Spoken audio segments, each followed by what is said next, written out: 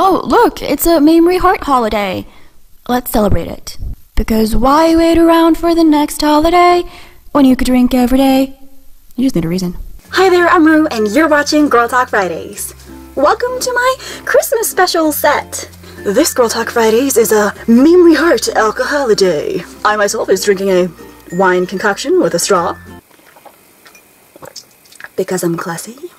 This Mamrie Hart holiday is untag yourself from unflattering photos online. and in that spirit, I have a really funny story for you. So this happened when I was in high school, very long time ago, years ago, and I went to a birthday party. Now the girl whose birthday party I went to, we were, you know, civil. We ended up hating each other when we graduated, but you know, that happened later on. But you know, we weren't really close. Um, and I think our differences in personality probably dictated why that happened. And, you know, her personality is going to shine through in this story as well. So the days after the birthday party, the birthday party was okay, it was fine, she started posting pictures, right? Because, you know, people take pictures. Not me, because I'm lazy, and I just siphon through other people's Facebook profiles until I find a picture of me and other people having some sort of collective activity because I'm really lazy and I don't take pictures myself. But you know, she was one of the people who actually take pictures and she posted them. Uh, one of them I was tagged in. You know how some people are like, they post photos where they look amazing and then everyone else looks like they're having some sort of seizure? It was one of those photos. So she was sitting at one end of the sofa and she was looking fabulous, and then the next person looked fabulous, and then the next person looked fabulous, and then there's me adjusting my bra. Yep, she posted a picture where I was adjusting my bra. And I looked slightly horrified. You know the face you get where you're like, oh my god, are you taking a picture? And it was like, also adjusting my bra. So it was kind of like this. Oh. So I go to the chat thing on Facebook and I'm like, hey, so I noticed you posted a picture. Please take it down. And she's like, why? Oh, but why? Everyone looked so good in it. You looked amazing. And I'm like, uh, are you kidding me? What? I'm adjusting my bra in it.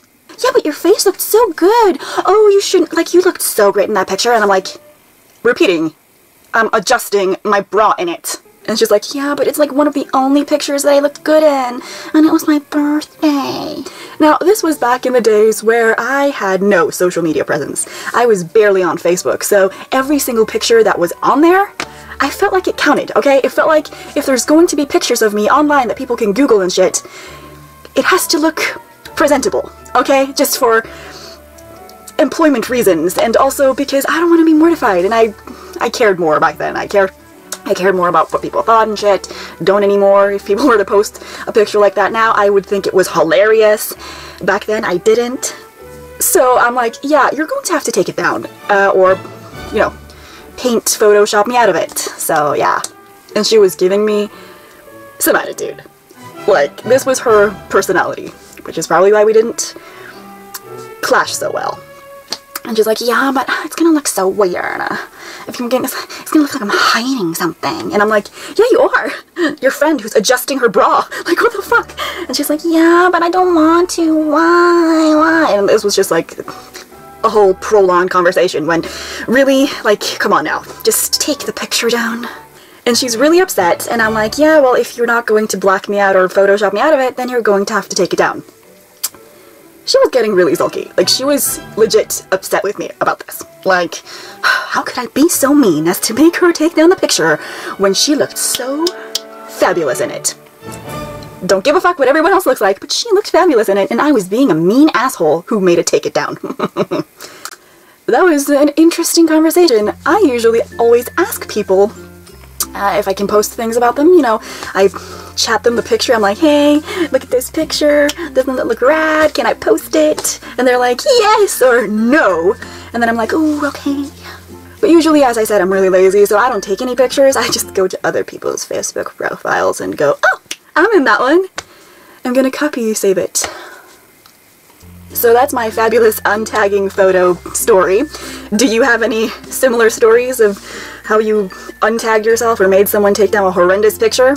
Do comments below. I would love to hear about it. because it's entertaining.